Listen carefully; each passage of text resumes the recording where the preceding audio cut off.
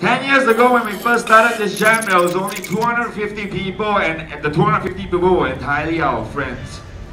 Okay? We just wanted to get together and have a good time. Alright? 10 years later, I have, I don't even know how many of y'all, me and my crew don't even know. Alright? So, we just want to be friends. Alright? We just want to be friends.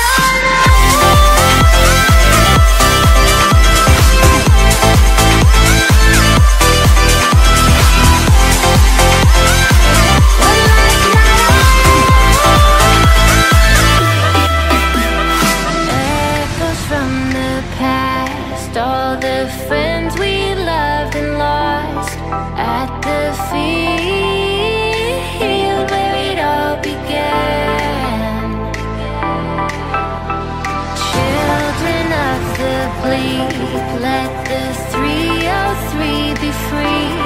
We are.